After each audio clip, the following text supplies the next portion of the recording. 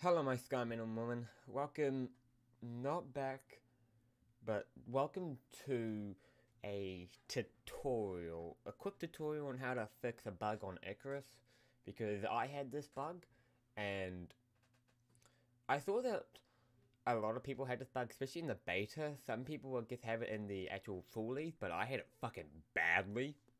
Not as bad as I thought others.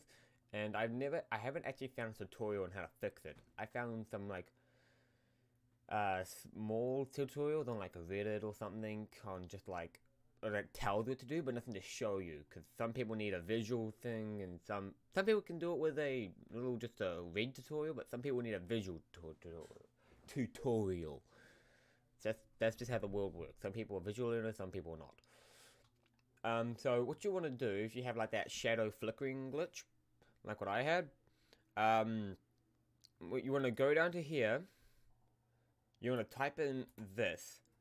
I will put a, I will put it, bring it big on screen, and I'll also put it, and I'll also uh, put it in the pinned comment, so you can either uh, pin comment and in description, so you can either copy and paste it. So you want to do this, and that will bring up your files. And when you go into when you get into your files, you want to go into game game user setting, which will bring up this. You want to go down to DR DLSS mode. This will this here will say performance. You want to switch that to off. Okay. And because when you switch it to off, that will allow you to access that will hopefully allow you to access a setting which was grayed out beforehand. So you want to do that, and then uh, if you have all, if you already have the game loaded, you want to close it and restart it. But if not, just load the game.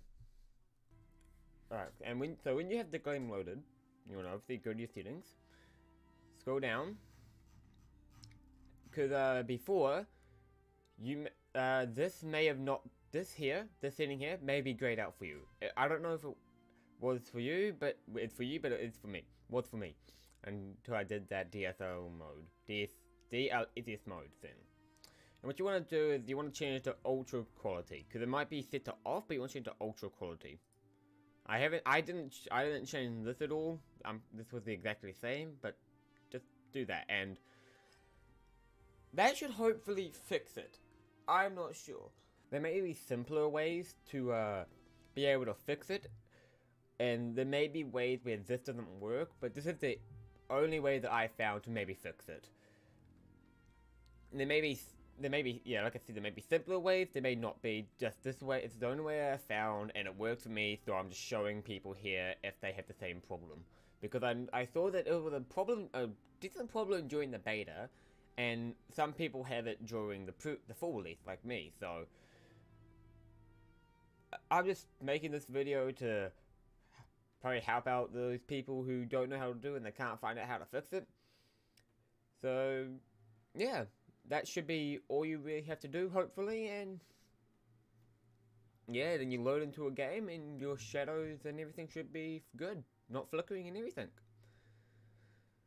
So, yeah, uh, that should be it. Not that hard of a fix, and yeah, hope you all enjoyed. And I'll see you guys in whatever the hell I do next. Peace.